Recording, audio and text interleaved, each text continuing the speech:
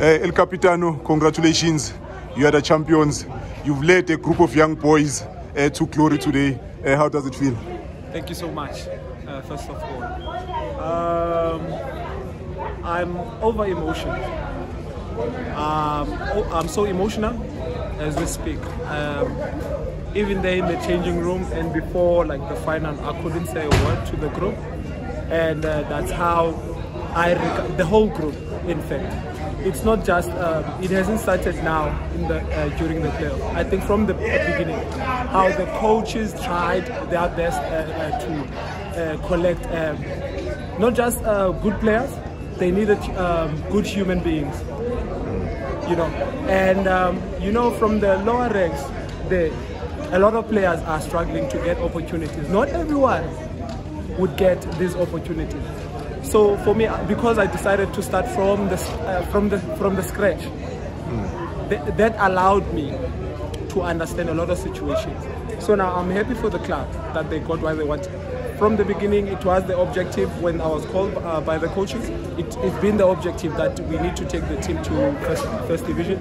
So I'm happy for the club, for the chairman, and the coaches for having worked. So you know, um, they haven't been sleeping, trying and you know praying and you know trying all they can do for the, for, for this team to gel and have a, a, um, a good group of fighters. So I think they got the reward at the end of the day. Uh, Captain, you've played in the professional ranks. Uh, you know how it feels to be there at the top. Uh, and as time goes on, you've played for a number of teams, Chippa, Arrows, Tugs, and so on. And as time went on, you went to the, to the, to the lower leagues. Did at any point think that as you went to play in the lower leagues and you were getting older, did you think perhaps one day you'll come back to the professional ranks? Um, you know, you know, sometimes a setback is not always. Sometimes a setback is just a trigger to take you up again. So that's what I believed in, and I wasn't at fault. Hence, I stood firm and believed that you know one day people will still realize I haven't failed at the top flight. So I knew even there, I had to to keep playing the best I, I could. Because now there's no time to sleep.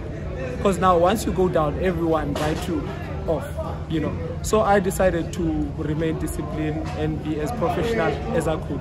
And you don't become a professional when everyone is watching. No no. Sometimes you do things that people don't see and in the game be honest about yourself and how you work like you know in the dark so it's always been uh, like that uh, your role in the club was not just only on the field of play uh, as a midfielder or defensive midfielder, but you, all, you are the captain. Uh, you have the role of leading these young boys, very talented group of boys. Uh, how did you balance that role of having to perform on the field of play while also providing leadership for these kids? Um, I think they made it easy for me. I can't take uh, the credit here, like you know, in this in interview. I think they made it easy. They wanted to learn so much.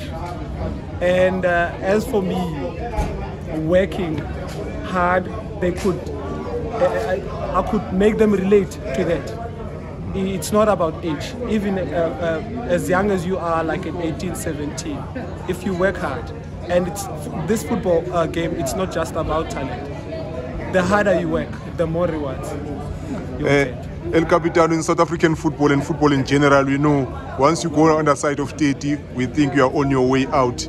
Uh, we are back in the professional ranks now. Do you still have that drive, that ambition to keep going? uh, come on now. You know, this question now, if we can take it back to just after the after the match here, the player of the tournament is 41. Yes. I won't even uh, uh, talk about my age here. The old man, the old man. He's still Sure, going. He, he, he was he was moving like a 15 year old. He's 41. So now even the guys that because you know uh, as players once this age topic comes to the players' heads, they start to to doubt and um, give up because we grew up with dreams and in this football some, some players break later you know and sometimes when things don't go their way they tend to you know to feel to pity themselves out because i've never my last season in the PSL, I was on top of my game. That I'm, I'm, I'm proud, like to, to say it now live here, because I was on top of my game. Me going down, it was a different reasons, you know, because we we sing singabantu Yes. and sing singabantu abamnyama. Sometimes when things don't go well, we we tend to blame. I had no, no nobody to blame.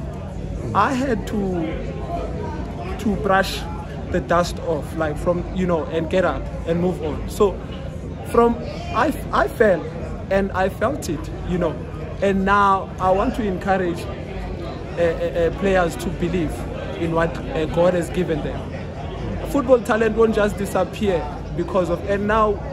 Uh, uh, we as players we tend to listen to a lot on negative things that are coming from the outside the age the you know there's there's rumors everywhere there's news and people interpret things and there's a lot of things that you know people say and and I'm also a victim of that. There's a lot that has been said about me, but I didn't care.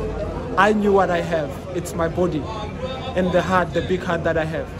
I knew that um, Upington, it's not a province to, to other, as compared to other provinces. That's how people, you know, uh, uh, put it. And now we've came from Upington to show people that, hey, come on, there's talent. The top goal scorer Yes. is from Upington. So I had to bring belief like to all of these young boys, but they made it easy for me.